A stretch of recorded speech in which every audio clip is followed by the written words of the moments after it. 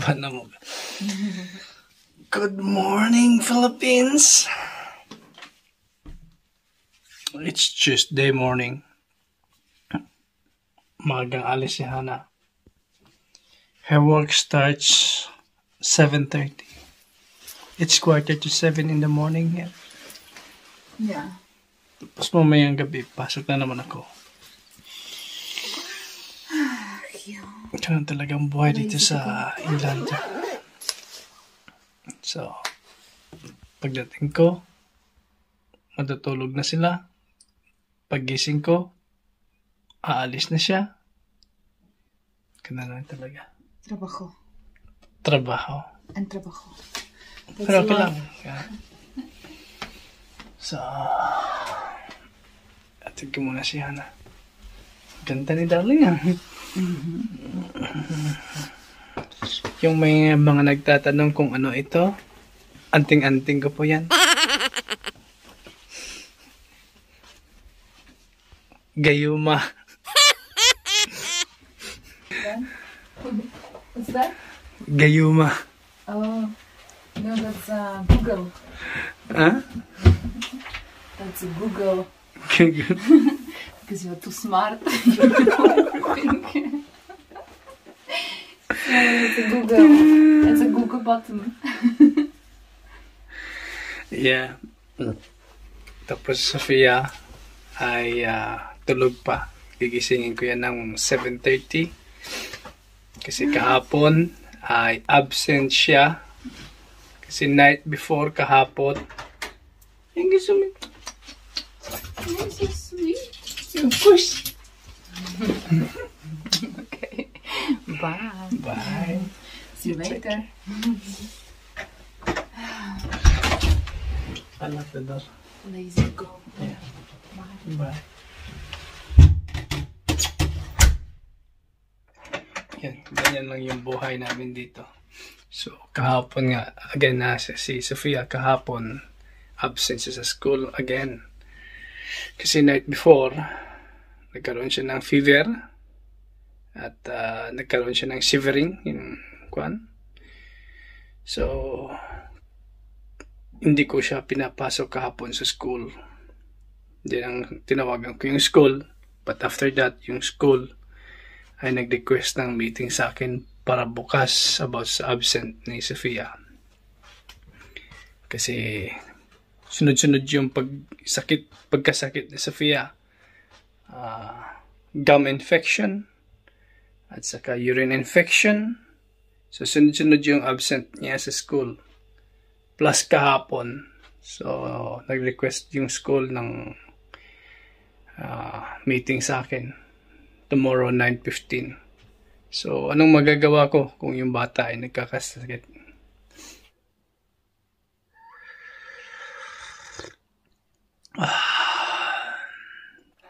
Kape.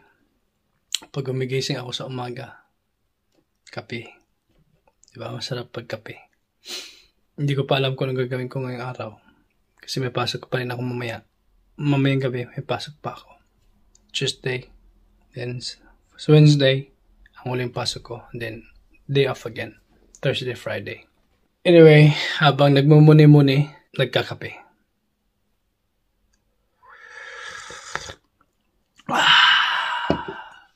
Good morning, magandang umaga po. Maganda umaga po, everybody.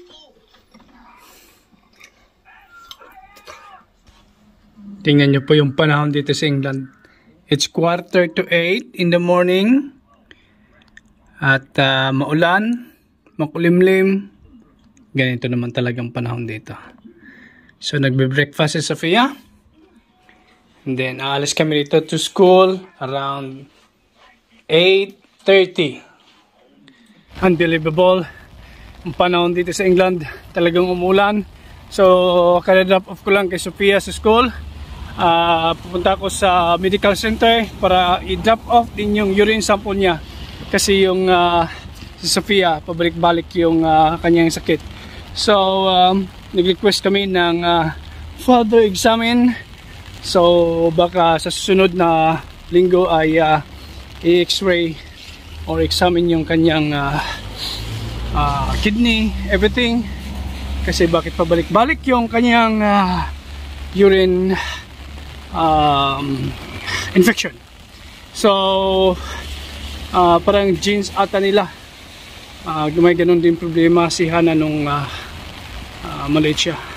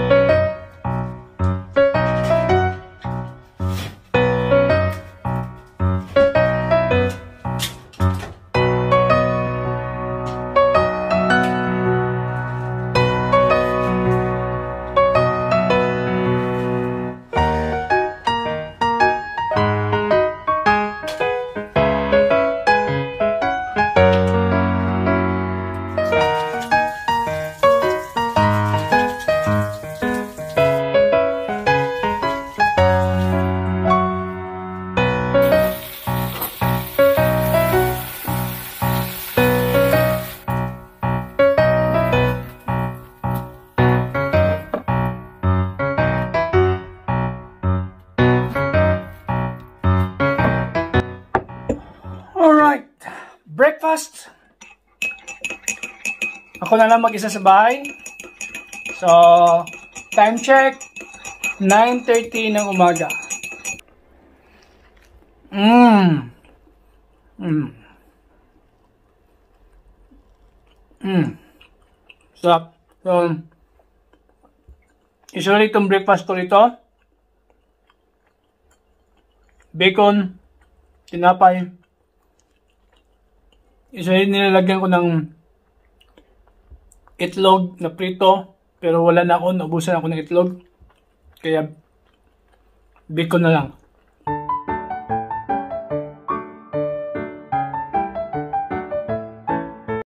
Binabati ko nga pala si Swiss Boy Tisoy from Switzerland. Originally, uh, si Swiss Boy Tisoy is from Davao Oriental. Bago ko matulog uli, sasagutin ko lang some of the uh, questions from Alexander Octaviano. Um, Hi Kuya Japheth, taga saan po kayo dito sa Pinas? You sound uh, Bisaya, am I right? Opo, Bisayang Bisaya po. Uh, from North Cotabato. Pinanganak po ako sa North Cotabato, lumaki po ako sa North Cotabato. Mhm.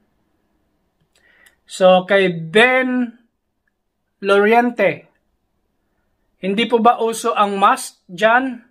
Hindi po ba kayo natatakot ah, sa COVID? Ah, dito sa Pinas, pag walang mask, sinuhuli. Ah, dito po kasi sa England, ah, 99% ng mga adult, maliban lang yung sa hindi nagpabakuna talaga, intentionally na hindi nagpabakuna, yun yun, walang bakuna. Pero sa mga nagpababakuna ng mga adult, 99% dito sa England ay nabakunahan na.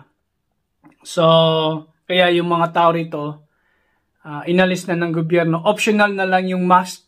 Kaya dito sa England, kung makikita nyo, hindi na nagmamask yung mga tao. Kasi optional na lang. Kahit ako, ah, hindi na ako nagbawear ng mask. From Nelia Shipley. Oh, uh, why you're telling your wife what to do? She can't go back to work yet. Not because you think she feels good. And her COVID is not serious. Ah, this thing happened uh, last year. This is one year ago already. Uh, she just put the comment now. Uh, no one is forcing to go to work. To be honest, I don't want Hannah to go to work. I can manage. Uh, before, when so- Sophia was one year old, I did not ask Hannah to go to work.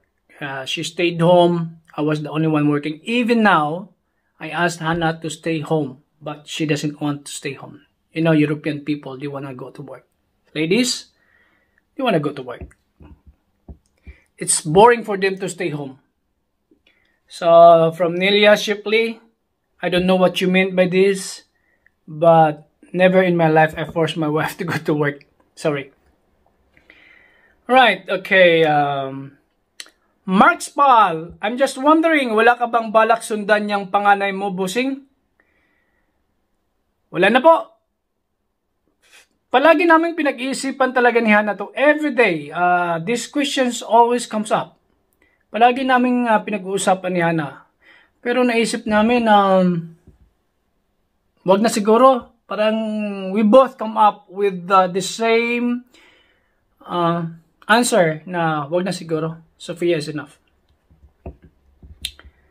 And then, ilang taon na asawa mong si Hannah. Sir, I want you to watch uh, Hannah's birthday vlog. Mga for Hannah just celebrated her birthday last two weeks ago or three weeks ago. So you'll find out there from Jeff Abadia. Oh. Uh, this is funny question. Rosini Lambatin Kuya Japheth, di ba kayo nagsisiping ni Miss Hannah? oh no! What kind of question? Bakit mo naman natanong, Rosini Lambatin? Bakit kung hindi kami nagsisiping ni Miss Hannah? Hindi naman ako gay. uh, this is a funny question. I found it funny. Okay. By Brian Azarcon, boss, ilang taon na ba si Hannah? And she's from European. Pinayagan mo ba siya magbikini sa beach? Just asking. Um, Brian, please watch uh, Hannah's birthday celebration. You'll find out there. Sophia, shout out her birthday and her age there. So, find out. And European, pinapayagan ba si Hannah magbikini sa beach? Uh, before I met Hannah, she, when we went to beach uh, before, she was wearing bikini.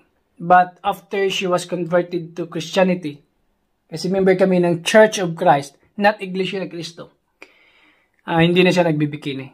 So, um, kasi para sa kanya, hindi ko siya pina, hindi ko rin binawalan si Hannah na mag-wear ng bikini, hindi ko siya binawalan. Pero when she became Christian, member of the Church of Christ, parang may nabasa sa dun. Siya mismo ang nakadiscovery na dapat yung katawan ng babae ay uh, tinatago. Hindi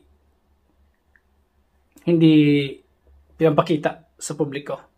Pero pag uh, meron siyang pagpupunta kami sa beach talaga, even she became Christian, meron siyang ginagamit na bikini na talagang cover to hanggang sa kanyang legs. Meron ganong, hindi siya bikini, para siyang swimming, swimming track na um, gamit. Pero hindi siya bikini na nakikita mo yung, yung dito, ito lang. Ito covered to hanggang dito. All the way from here up to here sa kanyang legs. So, hindi siya bikini. Um, marami pang mga tanong dito, kaya lang, uh, kaya uh, gusto ko sanang sagutin lahat. Uh, uh, yun. Ma'am Vicky, ito pa pala, Ma'am Vicky, my spelling name is J-A-F-E-T. Japheth. Maraming mga nagre-request ng address ko na gusto akong padalhan, gusto Sofia ng padalhan ng mga bagay-bagay. Pero pag dito ko kasi isulat sa comment section yung address ko, um, hindi po siya safe. Uh, kung gusto niyo po, gumawa po kayo ng extra email address at uh, i-comment nyo sa akin yung email address nyo at uh, mag-email ako sa inyo about my email address.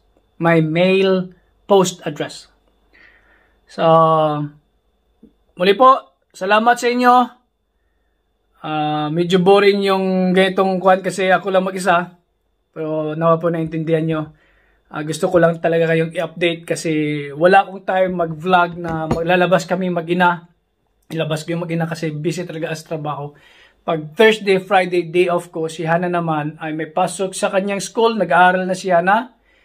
At ah, galing sa trabaho, ihatid niya si Sophia sa ah, piano lesson. After piano lesson, sa pupunta kagad sa kanyang school sa college. Friday, mayroon din naman swimming lesson si Sophia. Kaya medyo talaga busy kami, hindi kami ganong... Pero hopefully one day, makapag-book ako ng aking bakasyon at ah, makalabas-labas uli kami para sa, of course, one of the reasons is yung vlogging. Salamat po muli. Ingat po kayo. Bye.